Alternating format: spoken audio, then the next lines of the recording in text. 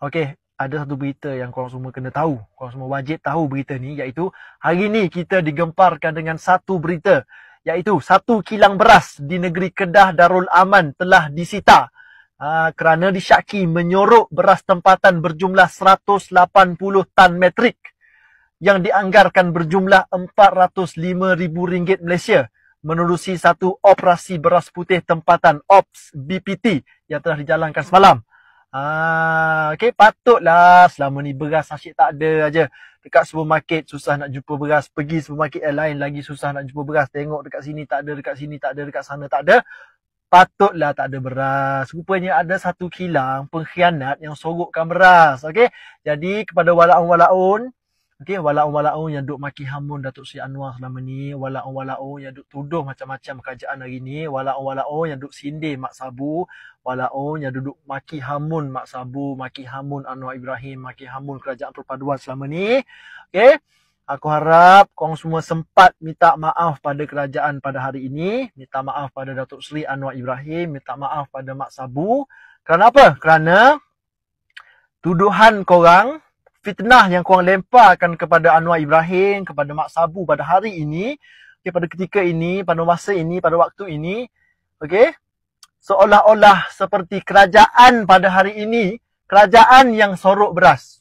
Okay, seolah-olah macam beras tak ada dekat kedai tu, dekat supermarket tak ada beras, semua salah kerajaan. Ini semua kerja kerajaan, kerajaan sengaja sorok beras. Uh, okay, bila dah keluar berita macam ni, bila keluar, bila ada satu apa, satu kilang beras disita.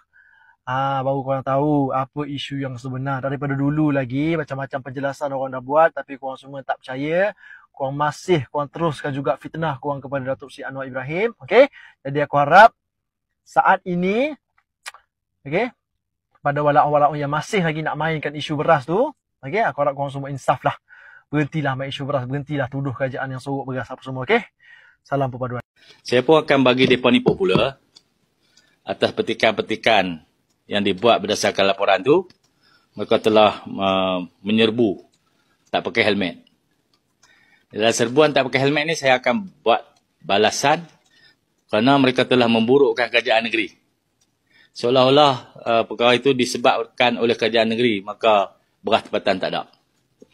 Orang-orang yang tidak memakai helmet ketika membuat serbuan di media sosial akan diburu Uh, saya beri masa 24 jam untuk menarik balik posting-posting mereka yang memberi gambaran bahawa skandal beras petani adalah ada kaitan dengan kerajaan negeri Kedah, anak syarikat kerajaan negeri Kedah ataupun pemimpin-pemimpin kerajaan negeri Kedah.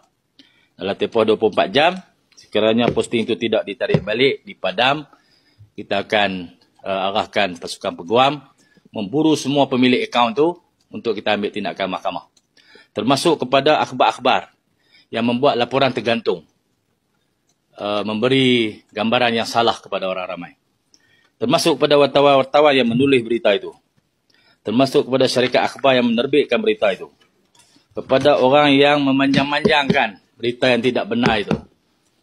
Uh, supaya menjadi satu pengajaran kepada orang ramai. Kalau nak menyebarkan sesuatu berita menyampaikan sesuatu maklumat mestilah uh, maklumat yang penuh yang memberi uh, maklumat yang lengkap dan berdasarkan kepada prinsip keadilan kepada pihak-pihak yang terbabit dalam berita seperti itu.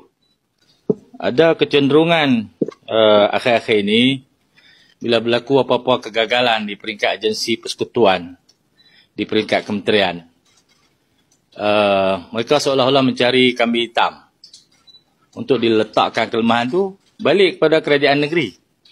Termasuklah laporan-laporan oleh wartawan pun. Contohnya adalah laporan berkaitan dengan kawas selia beras.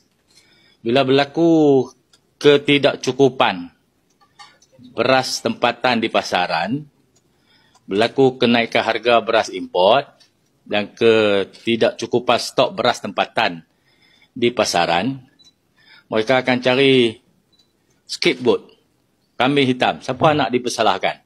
Oleh kerana kebanyakan padi dan beras ni ditanam di Kedah, maka mata orang ramai tertumpu di Kedah. Maka di diberatkanlah.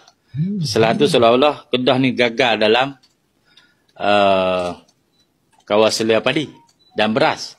Sebenarnya semua tu di bawah bidang kuasa kerajaan persekutuan. Terutama Kementerian uh, Pertanian dan Keterjaminan Makanan. Dalam satu laporan oleh beberapa akhbar kemarin diberitakan ada satu skandal anak syarikat kerajaan negeri kununnya lah. Uh, gagal supply beras tempatan dalam satu kontrak yang bernilai 100 juta. Kononnya laporan itu keluar pada SPRM dan uh, dilontarkan ke tengah-tengah masyarakat tanpa penjelasan yang sewajarnya. Laporan tergantung seolah-olah peristiwa itu berlaku kemarin Padahal ia telah berlaku 2016. Tahun 2016 tu saya duduk pikul beras sungguh lah. Tapi di kamp pelarian tu. saya pada masa tu buat uh, humanitarian mission di kawasan-kawasan bencana. Memang saya duduk pikul beras lah tu. Tapi di tempat lain lah. Saya pun tak diadun lagi pun. Jadi uh, bila lontaran itu dikeluarkan, atas kehendak siapa saya pun tak tahu uh, gairahlah uh, spekulasi di Bena seolah-olah punca ketiadaan beras tempatan di Kedah ni punca dia Sanusi. Sorok beras. kan? Itu spekulasi yang cuba dibina oleh netizen ataupun cyber trooper.